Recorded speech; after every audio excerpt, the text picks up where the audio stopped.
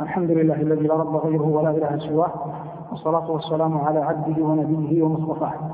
أما بعد فهذا بعون الله تعالى خاتمة الدروس والمقصود والتعليقات على متن الدرة المضيئة في السيرة النبوية للحافظ المقدسي رحمه الله تعالى. وسنشرع اليوم إن شاء الله تعالى في ختم الكتاب وإتمامه.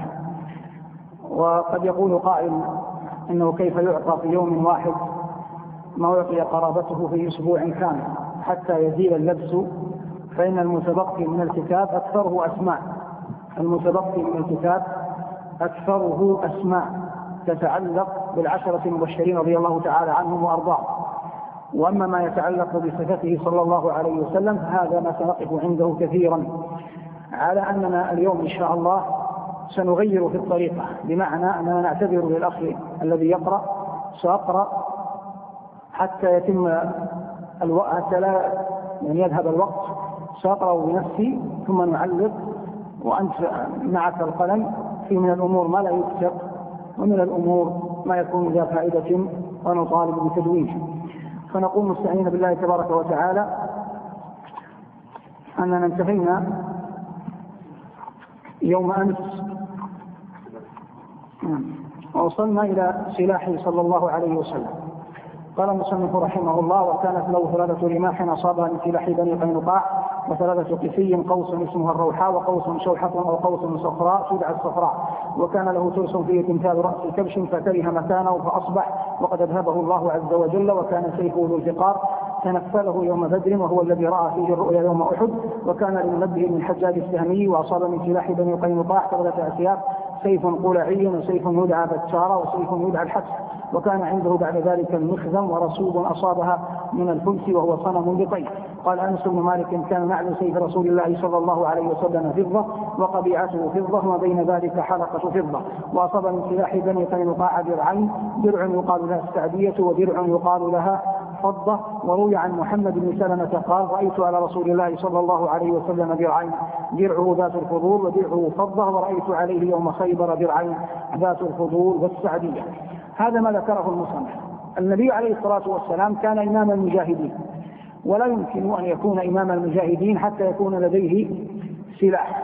وهذه الأسلحة التي ذكرت ونقلت عنه صلى الله عليه وسلم نقلت بأسانيد تختلف. منها ما هو صحيح منها ما هو دون ذلك. لكن جملة قبلت عند العلماء وتناقلوها. هذا الفكرة الأولى في الموضوع. الفكرة الثانية في الموضوع إذا أردت أن تدون سيفه ذو الفقار هذا السيف الذي كان لا يكاد يفارقه صلى الله عليه وسلم. سيفه ذو الفقار هو السيف الذي كان لا يكاد يفارقه صلوات الله وسلامه عليه. بمعنى أنه كان يحمله كثيرا ولذلك قال المصنف وهو الذي رأى فيه الرؤيا يوم أحد. فلو سئلت وأنت درست المتن ما معنى قول المصنف وهو الذي رأى فيه الرؤيا يوم أحد؟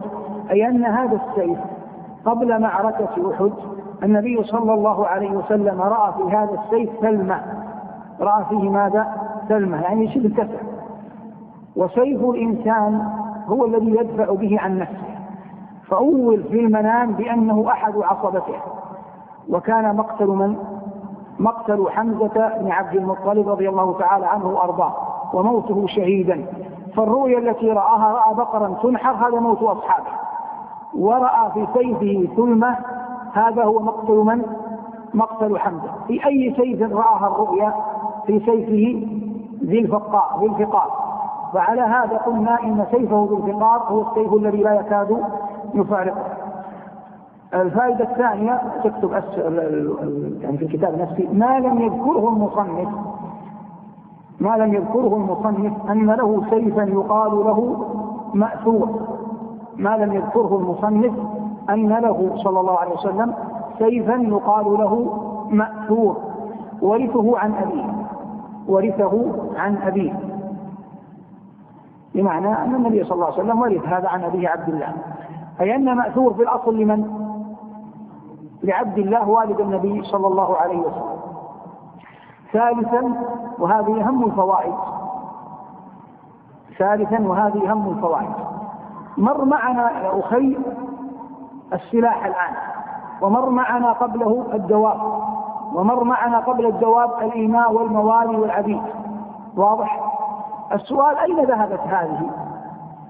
الإماء والعبيد والسلاح والدواب التي ذكرناها جميعا تكتب في في المتن. قال الحافظ ابن كثير رحمه الله قال الحافظ ابن كثير رحمه الله إن النبي صلى الله عليه وسلم قد صح عنه.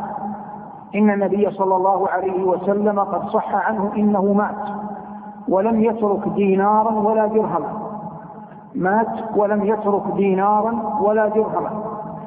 وأن درعه وأن درعه كانت مرهونة عند يهودي في ثلاثين صاعا من شعير وأن درعه كانت مرهونة عند يهودي في ثلاثين صاعا من شعير.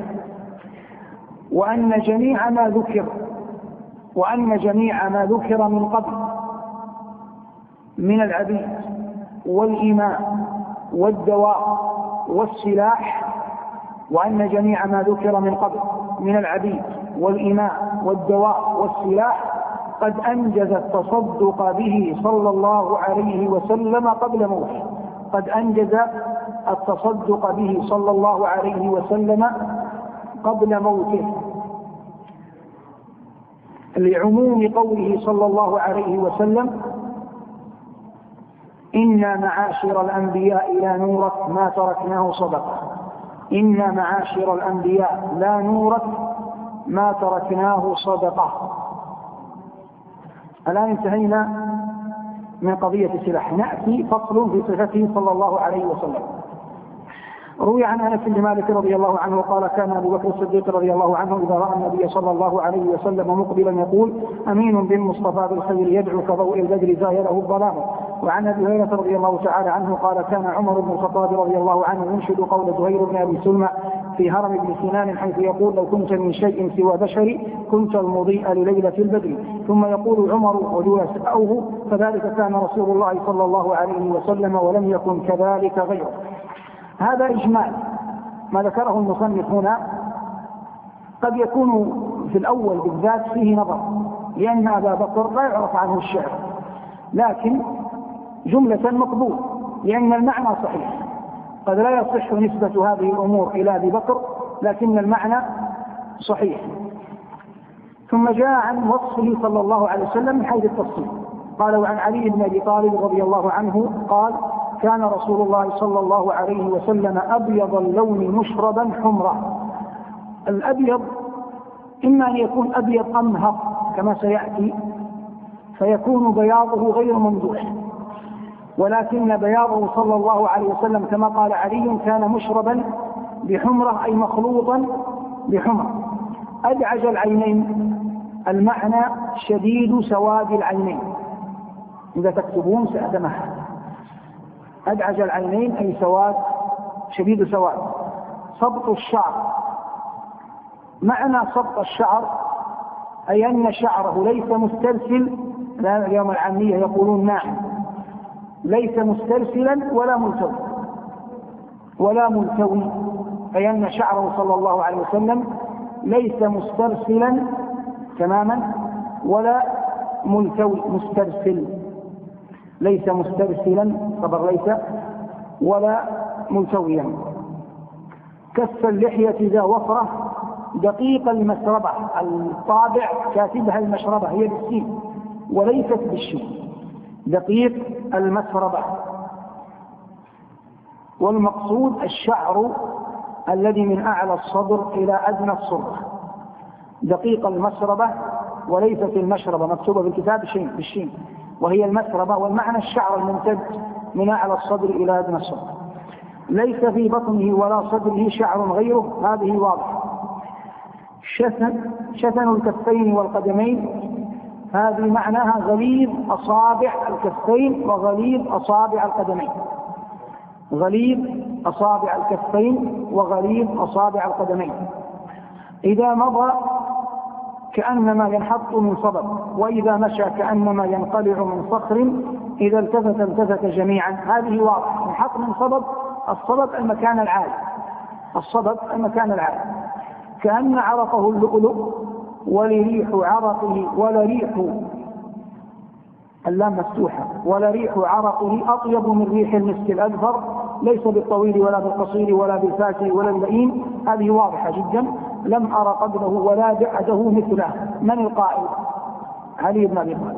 وفي لفظ أي لعلي بين كتفيه خاتم النبوة وهو خاتم النبيين. خاتم النبوة شعيرات ما بين الكتفين من الخلف إلى جهة الشمال أقرب. خاتم النبوة شعرات من الخلف. اجتمع بعضها إلى بعض إلى الشمال أقرب. واضح؟ وهو خاتم النبيين. أجود الناس كفا كناية عن الكرم كناية عن الكرم وأوسع الناس صدرا. هذه ظاهرة. وأصدق الناس لهجة. وأوفى الناس ذمة وألينهم عريكة وأكرمهم عشرة عشرة ومن رآه بديهة عشرة ما هي بالضم بالكسر. وأكرمهم عشرة من رآه بديهة هابه ومن خالطه أحبه يقول ناعته لم أر قبله ولا بعده مثله صلى الله عليه وسلم.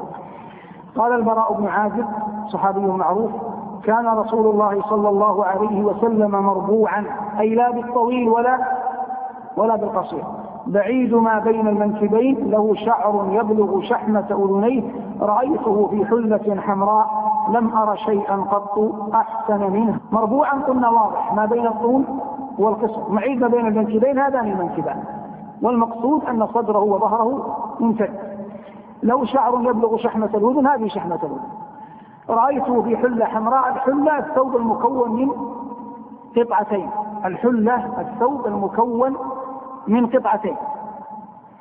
الإزار والرداء. لم أرى شيئا قط أحسن منه صلى الله عليه وسلم. لم هذه أداة. هي أداة جزم لكن أداة قبل جزم نفي أداة نفي جاء بعدها بقط لأنه نفى شيئا ماضي. ولو أراد أن ينفي شيئا في المستقبل يأتي بأبدا. أحسنت يأتي بأبدا وقالت أم معبد الخزاعية في صفته صلى الله عليه وسلم أم معبد أين رآها النبي صلى الله عليه وسلم؟ رآها أم معبد في الهجرة في طريقه من مكة إلى المدينة مر على أم معبد. أم معبد امرأة من خزاعة كان عندها خيمتان كان عندها خيمتان تكرم تقري الأضياف. فمر النبي صلى الله عليه وسلم عليها ونزل ضيفا عندها وجاءت معها قصة الشاه المعروفة. جزى الله رب الناس خير جزائه. رفيقين حلا خيمة أم معبد هما نزلا بالبر وارتحلا به وأصلح من أمسى رفيق محمد. هذه أم معبد رأته وكانت خزاعية فصيحة فلما جاء زوجها سألها فأجابته بالتالي رأيت رجلا ظاهر الوضاءة أبلج الوجه حسن الخلق لم تعبه فجلة ولم تزل به صعلة. هذه فجلة وصعلة تحتاج إلى شرح. لم تعبه فجلة السجلة الضخامة في البدن. السجلة الضخامة في البدن. اكتب. السجلة يتحمل بعد شرح. سجلة الضخامة في البدن. والصعلة صغر الرأس. والصعلة صغر الرأس. فهو عليه الصلاة والسلام ضخم إلى حد لا يعاب وليس صغير الرأس إلى حد يعاب به قسيما في عينيه دعج أي سواد. وفي أشفاره غطف فالأشفار أشعار أو شعر الجسد وفي صوته صحل أي في صوته بحة. الصحل هو ماذا؟ البحة. في صوته صحل أي بحة وفي عنقه سطع تقصد نور تقصد أن عنقه منير. وفي لحيته كثافة هذه واضحة أي كثر أزج أقرا أما كونه أزج فالمعنى أن خيط الجفن هذا دقيق قليلا. أما قولها أقرا هذا لا يقبل. فإما أن يكون خطأ منها وإما أن يكون خطأ من الرواة الذين نقلوا. قالت أزج أقرا فإما أن يكون خطأ منها وإما أن يكون خطأ من من؟ من الرواة. لأن معنى أقرا هذه تحتاج إلى شيء من الضعف أقرن أن يكون هذان ملتصقان بعضهما ببعض. الحاجبان إذا اتصلا يسمى أقرن بمعنى مقترنين. وهذا عيب مذموم. عند العرب قديما. وهو لا يعيب الرجل إذا وجد فيه لأن هذا خلق الله. لكن الله جل وعلا لا يجعل نبيه بهذا الأمر. وسيأتي وصفه عليه الصلاة والسلام بأنه أزج في غير قرن. سيمر معك. أظن المصنف تعرض له. هذا محفوظ. وما أدري كان المصنف ذكره أو لا. أزج في غير قرن. فقولها أزج أقرن إلا أن تكون قصدت شيئا لم أفهمه أنا واضح إذا كم تخريج الآن؟ ثلاث. الأول أن يكون خطأ من من؟ من أم معبد. والخطأ الثاني أن يكون ممن من؟ الرواة. والخطأ الثاني يكون في فهمنا نحن. لكن الصواب الذي لا محيل عنه أن الرسول لم يكن لم يكن أقرأ. واضح؟ أدج أقرا إن صمت فعليه الوقار وإن تكلم سمع وعلاه البهاء. وهذه ظاهرة. أجمل الناس وأبهاه من بعيد عليه الصلاة والسلام. وأحلاه وأحسنه من قريب. حلو المنطق فصل لا نزر ولا هدر. كأن منطقه خزرات نظم تحدرت لا بائن من طول ولا تقتحمه عين من قصر. غصنا بين غصنين. تتكلم عن من؟ غصنين الآخرين. أبو بكر عامر بن فهيد وهو أنظر الثلاثة منظرا وأحسنهم قدرا. له رفقاء يحقون به إن قال أنصتوا لقوله وإن آمر وإن أمر تبادروا لأمره محفوظ محشود. ما معنى محفوظ؟ ما معنى محشود؟ المحفوظ من يعظمه أصحابه ومن حوله. المحفوظ من يعظمه أصحابه ومن حوله ويسارعون في طاعته. هذا معنى محفوظ. اقرأ ما كتبنا. اقرأ. ما معنى محفوظ يعني عشان لا يصير أعلم أنه كتبت الخط نعم كما قال.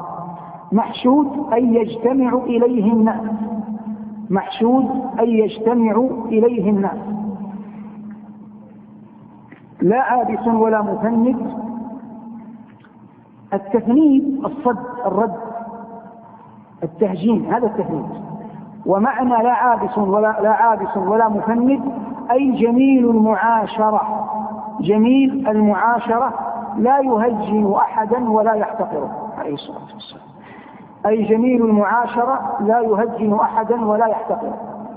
وعن أنس بن مالك رضي الله عنه أنه وصف لرسول الله صلى الله عليه وسلم فقال كان ربعة من القوم. طبعا هو كاتبها ربعة. مستحيل طبعا تقول ربعة. لماذا؟ خبر كان ما يكون مرفوع منصوب. ضع عليها تنوين مفتوح. كان ربعة من القوم ليس بالطويل الباعن هذه مرت معنا ولا بالقصير المتردد. أزهر اللون ليس بالأبيض الأنهق ولا بالآدم. الآدم الأسمر. الآدم من يميل إلى السمرة. أي أن بياضه صلى الله عليه وسلم كما قلنا مشربا بحمرة. والأبيض الأنهق الكريه البياض. الأبيض الأنهق الكريه البياض. قال فائدة من من الأنبياء كان يميل إلى السمرة؟ موسى. لذلك الله قال أن يده بيضاء من غير سوء آدم موسى كان أسمر. ليس بجعد ولا قلط ولا صبط رجل الشعر هذه مرت معنا ليس مسترسل.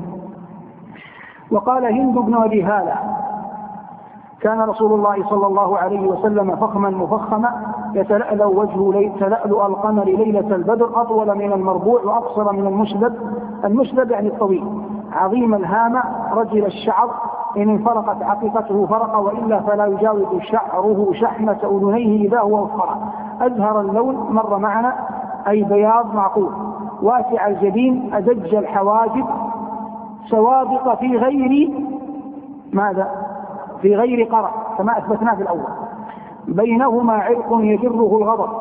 أقنى العرنين أقنى العرنين العرنين الأنف. اكتبها. العرنين الذي ارتفع أعلى أعلى أنفه الذي ارتفع أعلى أنفه. الذي ارتفع أعلى أنفه. واحدودب وسطه وضاق من خراء. واحدودب وسطه وضاق من خراء. كث اللحية. أدعج العينين مرة. سهل الخدين. ضليع الفم أي كبير الفهم كبير الفم وكان عنوانا عند العرب على الفصاحة والبلاغة. ضليع الفم أي واسع الفم وكان عنوانا عند العرب على الفصاحة والبلاغة. أشنب مفلج الأسنان أشنب يعني جميل الفم. مفلج الأسنان الثنايا كان فيها فلجة لم تكن متلاصقة. دقيق المسربة هذه مرت معنا كأن عنقه جيد دمية في صفاء الفضة معتدل الخلق باجنا متماسكا سواء البطن والصدر. ما معنى سواء البطن والصدر؟ هذه ظاهرة بتعبير البطن يعني فرق ما بين البطن والكرش. فرق ما بين البطن والكرش. كل إنسان له بطن لكن ليس كل إنسان يوصف بأن له كرش. إذا البطن برزت يسمى كرش. أما إذا لم تبرز فهي بطن لأنه لا يوجد إنسان ليس له بطن. واضح؟ سواء البطن والصدر. مسيح الصدر. بعيد ما بين المنكبين ضخم الكراديس. الكراديس رؤوس العظام. الكراديس رؤوس العظام. أي عظم هذا أو هذا في الركب يسمى كراديس. أنور المتجرد. المتجرد أي المواطن التي لا شعر فيها تظهر كأنها نور. هذا معنى أنور المتجرد. أي المواطن التي لا شعر فيها من جسمه تظهر كأن لها نور. موصول ما بين اللبة والسرة. اللبة هذه الفتحة هذه الذي في أسفل الصدر في أسفل الرقبة هذه اللبة. موصول ما بين اللبة والسرة أي منها هنا إلى سرته صلى الله عليه وسلم شعر. شعر يجري كالخط. موصول ما بين اللبة هذه اللبة إلى هذه السرة؟ شعر ممتد. معنى هذا أن باقي الجسم من الأمام هنا وهنا ليس فيه شعر. ولذلك قال عاري الثديين والبطن مما سوى ذلك. مما سوى ذلك من ماذا؟ من الشعر. أشعر الذراعين والمنكبين. أما هنا في الذراع والمنكب كان أشعر صلى الله عليه وسلم. عريض الصدر طويل الجنبين رحب الراحة شفن الكفين مرت والقدمين سائر الأطراف سبق القصد خمصان الأخمصين. هذه خمصان الأخمصين معناها الأخمص هو الذي ينطوي شيء من القدم في باطنها. يعني أي إنسان الأصل أنه أخمص في جهة من القدم ما تصل إلى ماذا؟ ما تصل إلى إلى الأرض. لكنه هذا الذي طبيعة الإنسان. لكن ثبت عن صلى الله عليه وسلم أنه كان أخمص أي أن قدمه كانت سواء. كان أخمص أي أن قدمه كانت سواء. ويمشي مسح القدمين ينبو عنهما الماء إذا زال زال قلعا ويخطو تكفوا ويمشي هونا ذريع المشية ذريع المشية أن مشيته ماذا؟ متباعدة. إذا مشى كأنما ينحط من صبب وإذا التفت التفت جميعا خافض الطرف أي النظر. نظره إلى الأرض أطول من نظره إلى السماء. كناية عن ماذا؟ التواضع. جل نظره الملاحظة. ما يدقق يسوق أصحابه ويبدأ من لقيه بالسلام. يسوق أصحابه ويبدأ من لقيه بالسلام صلوات الله وسلامه عليه. هذا الصفة الخلقية. الآن طبيعي أن يأتي للصفة هذه الصفة الخلقية. والآن طبيعي أن يأتي للصفة الخلقية بسكون الله. قال فصل في أخلاقه صلى الله عليه وسلم. كان رسول الله صلى الله عليه وسلم أشجع الناس. قال علي بن أبي طالب رضي الله عنه ستمر معنا أشياء لا حاجة للشرح وإنما سأتكلم بعد ذلك إجمالا. كان كنا إذا احمر البأس ولقي القوم القوم التقينا برسول الله صلى الله عليه وسلم وكان أسخى الناس ما سئل قط شيئا فقال لا وكان أحلم الناس. إلا أن سخاءه متى يظهر في أوجه في رمضان إذا إذا لقيه جبريل. وكان أحلم الناس كان أشد حياء من العذراء في خبرها لا يثبت بصره في وجه أحد. وكان لا ينتقم لنفسه ولا يغضب لها إلا أن تنتهك حرمات الله فيكون لله ينتقم وإذا غضب لله لم يقم لغضبه أحد والقريب والبعيد والقوي والضعيف عنده في الحق واحد. وهذا أمر لا خلاف فيه. فالله جل وعلا زكى بصره وزكى قلبه وزكى لسانه وزكى خلقه. فأين زكى الله لسانه؟ وما ينطق عن الهوى. وأين زكى الله قلبه؟ ما كذب الفؤاد ما رأى. وأين زكى الله بصره؟ ما زاغ البصر وما طغى. وأين زكى الله خلقه؟ وإنك لعلى خلق عظيم. هذه إجمالا وجاءت مفصلة في آيات أخرى. ما عاب قط طعاما قط إن اشتهاه أكله وإن لم يشتهه تركه. وكان لا يأكل متكئا ولا يأكل على خوان. ما الخوان؟ لا المائدة. الخوان المائدة التي يوضع عليها الطعام ويعبر عنها أحيانا بالطاولة. قال أنس رضي الله عنه كما الصحيح ما أكل النبي صلى الله عليه وسلم على خوان قط ولا يمتنع من مباح. إن وجد تمرا أكله وإن وجد خبزا أكله وإن وجد شواء أكله. وهذا يدل على عدم التكلف. يعني إذا أردت أن تكتبها في الأسفل اكتب جملة يقال كان لا يرد موجودا ولا يطلب مفقودا. جملة يقال شرح هذا كله لا يرد موجودا ولا يطلب مفقودا. إن وجد خبز بر أو شعير أكله وإن وجد لبن اكتفى. أكل البطيخ بالرطب. أكل البطيخ بالرطب. ما البطيخ؟ ما البطيخ؟ إن أجبتم عنها فأنتم مطلعون على السنة. أي هذا الذي جالس أي غير الشمام الخربز. المقصود بالبطيخ هنا الخربز. طيب أين الدليل على أنه خربز؟ ثبت عنه صلى الله عليه وسلم هذا البطيخ جاءت بثلاث روايات. جاءت برواية أكل البطيخ بالخربز وجاءت بنقل عن عائشة أكل البطيخ الأحمر بالخربز. أكل البطيخ الأصفر بالخربز وجاءت برواية أوضح أكل الخربز بالرطب. أكل الخربز هذا نص الحديث حديث أنس أكل الخربز بالرطب. طيب. لماذا أكل الخربز البطيخ الأصفر؟ أكل البطيخ البطيخ الأصفر الذي فتحته أصفر. طيب. علله لماذا أكل البطيخ بالرطب. ما الفرق؟ لماذا جمع ما بين الخربز والرطب؟ أي.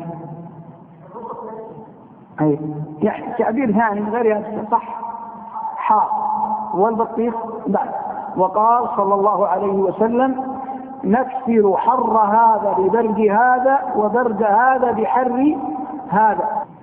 قال أبو هريرة رضي الله تعالى عنه خرج رسول وكان يحب الحلواء والعسل. قال أبو هريرة رضي الله عنه خرج رسول الله صلى الله عليه وسلم من الدنيا ولم يشبع من خبز الشعير وكان يأتي على آل محمد الشهر والشهران لا يوقد في بيت من بيوته نار وكان قوتهم التمر والماء. يأكل الهدية ولا يأكل الصدقة. طيب ولا يأكل الصدقة خاصة به هو وآل وآل بيته. ويكافئ على ماذا؟ ويكافئ على الهدية. إذا أخذ هدية يكافئ عليها وأغلب أحواله أن يرد الهدية بأكثر منها. يأكل الهدية ولا يأكل الصدقة ويكافئ على الهدية ولا يتأنق في مأكل ولا ملبس يأكل ما وجد ويلبس ما وجد. وكان يخطف النعل ويرقع الصوب ويقدم في مهنة أهله ويعود المرضى وكان أشد الناس تواضعا يجيب من دعا من غني أو فقير أو دنيء أو شريف. لا يفرق وكان يحب المساكين ويشهد جنائزهم ويعود مرضاهم. لا يحتقر فقيرا لفقره ولا يهاب ملكا لملكه. وكان يركب الفرس والبعير والحمار والبغلة هذا كله دليل على عدم التكلف. ويردف خلفه عبده أو غيره. لا يدع أحدا يمشي خلفه ويقول خل ظهري للملائكة. يلبس الصوف وينتعل المقصوف وكان أحب اللباس إليه الحبرة. الحبرة الثياب المقلمة ذات الخطوط. الحبرة الثياب المقلمة ذات الخطوط وهي من برود اليمن فيها حمرة وبياض. ختمه فضة نصفه منه يلبسه في خنصره الأيمن وربما لبسه في الأيسر وكان يحسب على بطنه الحجر من الجوع. وقد أتاه الله مفاتيح خزائن الأرض كلها فأبى أن خزائن الأرض كلها فأبى أن يأخذها واختار الآخرة عليها. وكان يكثر الذكر ويقل اللغو ويطيل الصلاة ويقصر الخطبة. أكثر الناس تبسما وأحسنهم بشرا مع أنه كان متواصل الأحزان دائم الذكر. وكان يحب الطيب ويكره الريح الكريهة. يستألف أهل الشرف ويكرم أهل الفضل ولا يطوي بشره عن أحد ولا يجهو عليه. يرى اللعب المباح ولا ينكره يمزح ولا يقول إلا حقا ويقبل معذرة المعتذر إليه له عبيد وإيماء لا يرتفع عليهم في مأكل ولا ملبس ولا يمضي له وقت في غير عمل لله أو فيما لابد له ولأهله منه. رعى الغنم وقال ما نبي إلا قد رعاها. وسئلت عائشة رضي الله عنها عن خلق رسول الله صلى الله عليه وسلم فقال كان خلقه القرآن يغضب لغضبه ويرضى لرضاه. صلوات الله وسلامه عليه. وصح عن أنس بن مالك رضي الله عنه قال ما مسست ديباجا ولا حريرا ألين من كف رسول الله صلى الله عليه وسلم ولا شممت رائحة قط كانت أطيب من رائحة رسول الله صلى الله عليه وسلم ولقد خدمت رسول الله صلى الله عليه وسلم عشر سنين فما قال لي قط ليف قط ولا لشيء فعلته لما فعلت كذا ولا لشيء لم أفعله ألا فعلت كذا وكذا. قد جمع الله له كمال الأخلاق ومحاسن الأفعال وآتاه الله علم الأولين والآخرين وما فيه النجاة والفوز وهو أمي لا يقرأ ولا يكتب ولا معلم له من البشر. نشأ في بلاد الجهل والصحارى. آتاه الله ما لم يؤتي أحدا من العالمين واختاره على جميع الأولين والآخرين. فصلوات الله عليه دائمة إلى يوم الدين. هذا كله ظاهر ولا أعتقد أنه يحتاج إلى تعريف فصل في معجزاته صلى الله عليه وسلم. فمن أعظم معجزاته وأوضح دلالاته القرآن العزيز الذي لا يأتيه الباطل من بين يديه ولا من خلفه. تنزيل من حكيم حميد الذي أعجز الفصحاء وحير البلغاء واعياهم أن يأتوا بعشر سور مثله أو بسورة أو بآية وشهد بإعجازه المشركون وأيقن بصدقه الجاحدون والملحدون. اكتب القرآن الكريم معجزة نبينا الخالد وهو معجز في لفظه و ومعناه. معجز في لفظه ومعناه. القرآن الكريم معجزة نبينا الخالد وهو معجز في لفظه ومعناه. قال الشوقي رحمه الله قال شوقي رحمه الله جاء النبيون بالآيات فانصرمت. هذا الشطر الأول. جاء النبيون بالآيات فانصرمت وجئتنا بحكيم غير منصرم. وجئتنا بحكيم غير منصرم. طيب وسأل المشركون رسول الله صلى الله عليه وسلم أن يريهم آية فأراهم انشقاق القمر. فانشق حتى صار فرقتين وهو المراد بقوله تعالى اقتربت الساعة وانشق القمر. وقال رسول الله صلى الله عليه وسلم إن الله تعالى زوى الأرض. فرأيت مشارقها ومغاربها وسيبلغ ملك أمتي ما زوي لي منها. وصدق الله قوله بأن ملك أمته بلغ أقصى المشرق والمغرب ولم ينتشر في الجنوب ولا في الشمال. هذا فيه نظر. هذا فيه نظر. فليس المقصود المشرق والمغرب تحديدا. فليس المقصود المشرق والمغرب تحديدا. وإنما المقصود انتشار الدين في كل مكان. انتشار الدين في كل مكان. وكان يخطب إلى جذع الآن سيأتي في قضية معجزاته وأكثرها معروف.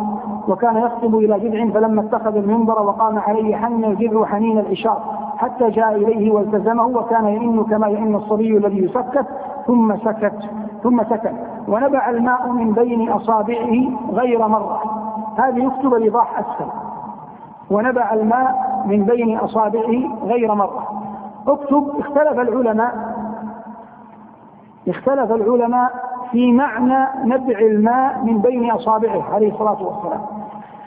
اختلف العلماء في معنى نبع الماء بين أصابعه عليه الصلاة والسلام على قولين.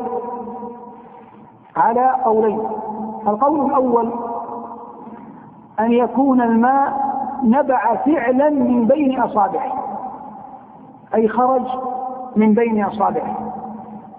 أن يكون الماء نبع فعلا من بين أصابعه أي خرج من بين أصابعه.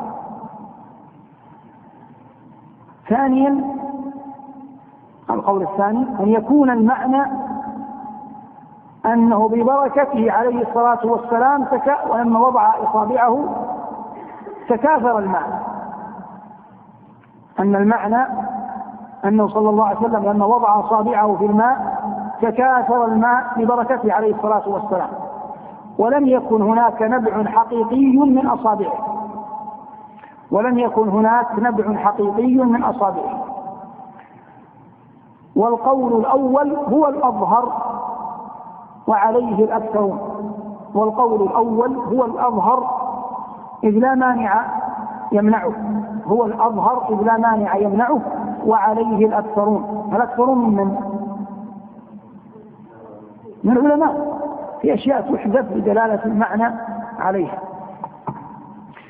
وسبح الحصى بكفه ثم وضعه في كف أبي بكر ثم عمر ثم عثمان فسبح وكانوا يسمعون تسبيح الطعام عنده وهو يأكل.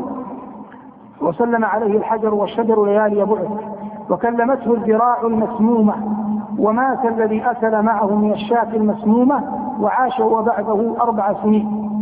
الذي مات معه من بشر بن البراء رضي الله عنه. الذي أكل معه من الشاة بشر بن البراء. وأصيبت رجل عبد الله بن عتيك الأنصاري فمسحها فبرأت من حينها وأخبر أنه يقتل أبي بن خلف الجمحي يوم أحد فخدشه خدشا يسيرا فمات. وقال سعد بن معاذ لأخيه أمة بن خلف سمعت محمدا يزعم أنه يزعم أنه قاتلك فقتل يوم بدر كافرا. وأخبر يوم بدر بمصالح المشركين فقال هذا مصرع فلان غدا إن شاء الله وهذا مصرع فلان غدا إن شاء الله فلم يعدو واحد منهم مصرعه الذي سماه. وأخبر أن طوائف من أمته يغزون البحر وأن أم حرام بنت الملحان منهم فكان كما قال. وقال لعثمان إنه سيصيبه بلوى فقتل عثمان. وقال للحسن بن علي إن ابني هذا السيد لعل الله أن يصلح به بين فئتين من المؤمنين عظيمتين فكان كذلك. وأخبر بمقتل الأسود عن سي الكذاب ليلة قتل وبمن قتله وهو بصنعاء اليمن وبمثل ذلك في قتل كسرى وأخبر أن الشيماء بنت بقيلة الازديه أنها رفعت له بحمار أسود على بغلة شهباء فأخذت في زمن أبي بكر الصديق في جيش خالد بن الوليد بهذه الصفة. وقال لثابت بن قيس بن شماس تعيش حميدا وتقتل شهيدا فعاش حميدا وقتل يوم اليمامة شهيدا. وقال الرجل ممن يدعي الإسلام وهو معه في القتال إنه من أهل النار فصدق الله قوله بأن نحر نفسه. اكتب جماع هذا علميا أن يقال ما يلي. جماع هذا علميا أن يقال ما يلي. الغيب الذي أخبر عنه النبي صلى الله عليه وسلم ينقسم إلى ثلاثة أقسام. جماع هذا علميا أن يقال الغيب الذي أخبر عنه النبي صلى الله عليه وسلم ينقسم إلى ثلاثة أقسام. ينقسم إلى ثلاثة أقسام. أولا غيب يتعلق بالأمم والقرون الغابرة. غيب يتعلق بالأمم والقرون الغابرة. ومثاله إخباره عن هيا ائتوني بأمثلة هيا تفضل.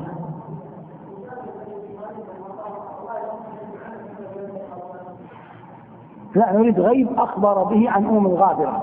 هذا كثير في القرآن. إخبار يوسف أصحاب الكهف قوم نوح قوم عاد. هذا كله إخبار عن غيب سبق. هذا كله إخبار عن غيب سبق كإخباري عن أهل الكهف وإخباري عن يوسف وإخوته وإخباري عن غير ذلك مما سلف هذا كم؟ واحد. الثاني إخباره عن غيب وقع في وقع بعد في حياته وقع في حياته قبل أن يموت. إخباره عن غيب وقع بعد ذلك في حياته قبل أن يموت.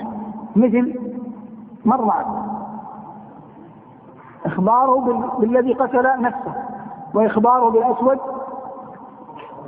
ومقتل بقريش يوم بدر ومقتل الأسود العنسي هذا كله حصل في ماذا؟ في حياته صلى الله عليه وسلم.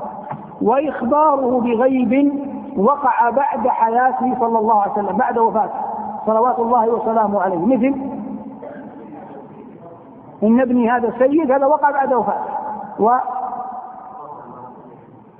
قصة سراقة بن مالك أنه لبس سوار كسرى وارتاح يعني يقول أشراط أشراط الساعة ستقع بعد وفاته صلى الله عليه وسلم. هذا خلاصة ما يمكن أن يقال في الغيب الذي أخبر عنه صلى الله عليه وسلم. ودعا الان تكلم عن دعائه ودعا لعمر بن الخطاب فأصبح عمر فأسلم ودعا لعلي بن أبي طالب يجيب الله عنه الحر والبرد فكان لا يجد حرا ولا بردا. ودعا لعبد الله بن عباس يفقهه الله في الدين ويعلمه التأويل فكان يسمى الحضر والبحر لكثره علمه. ودعا لأنس بن مالك بطول العمر وكثرة المال والولد وأن يبارك الله له فيه. فولد له 120 ذكرا لصلبه وكانت نخله تحمل بالسنة مرتين وعاش 120 سنة أو نحوها. وكان عتيبه بن بلاد قد شق قميصه وأذاه فدعا عليه أن يسلط الله عليه كلبا من كلابه فقتله الأسد بالزرقاء من أرض الشام. وشكي إليه قحوط المطر وهو على المنبر فدعا الله عز وجل وما في السماء قزعة فصار سحاب امثال الجبال فمطروا إلى الجمعة الأخرى حتى شكي إليه كثرة المطر فدعا الله عز وجل فأقلعت وخرجوا يمشون بالشمس وأطعم أهل الخندق وهم ألف من صاع شعير أو دونه وبهيمة فشبعوا وانصرفوا والطعام أكثر مما كان. وأطعم أهل الخندق أيضا من سمع يسير. هدت به ابنة بشير بن سعد إلى أبيها وخالها عبد الله بن رواحة. وأمر عمر بن الخطاب أن يزود أربعمائة راكب من تمر كالبصيل الرابط فزود وبقي كأنه لم ينقص تمرة واحدة. وشهد الذئب بنبوته. شهادة الذئب بنبوته رواها الإمام أحمد من حديث أبي سعيد الخدري رضي الله عنه. شهادة الذئب بنبوته رواها الإمام أحمد في مسنده بسند صحيح. من حديث أبي سعيد الخدري رضي الله عنه. ومر بسفر بن بعير يستقى عليه فلما رآه درجا وضع جيرانه فقال إنه شكى كثره العمل وقلة العلف ودخل حائطا فيه بعير الحائط أي البستان الحائط أي البستان فلما رآه حن وذرفت عيناه فقال لصاحبه إنه شكى إلي أنك تجيعه وتؤدبه. ودخل حائطا آخر فيه فحلان من الإبل وقد عجز صاحبهما عن أخذهما. فلما رآه أحدهما جاء حتى برك بين يديه فخطمه ودفعه إلى صاحبه. فلما رآه الآخر فعل مثل ذلك. وكان نائما في سفر هذه كلها أخبار تدل على ما سخره الله جل وعلا له صلوات الله وسلامه عليه. هي والتي بعدها إلى أن قال في آخر الصفحة 116 وخرج على مئة من قريش 116 وهم ينتظرونه فوضع التراب على رؤوسهم ومضى ولم يره وتبعه سراقة بن مالك بن يشعم يريد قتله أو أسره فلما قرب منه دعا عليه فساخت يد فرسه في الأرض فناداه بالأمان وسأله أن يدعو له فدعا له فنجاه الله. وله صلى الله عليه وسلم معجزات باهرة ودلالات ظاهرة وأخلاق طاهرة واقتصرنا منها على هذا تحقيقا. وفي ختام هذا اللقاء أشهد الله على حبكم وأوصيكم ونفسي بتقوى الله تبارك وتعالى وسلامة الصدر لجميع المؤمنين والسعي بالعمل بما نعلم. عل الله جل وعلا أن يبلغنا أعلى المنازل في الدنيا والآخرة. هذا والله تعالى أعلم. وصلى الله على محمد وعلى آله والحمد لله رب العالمين.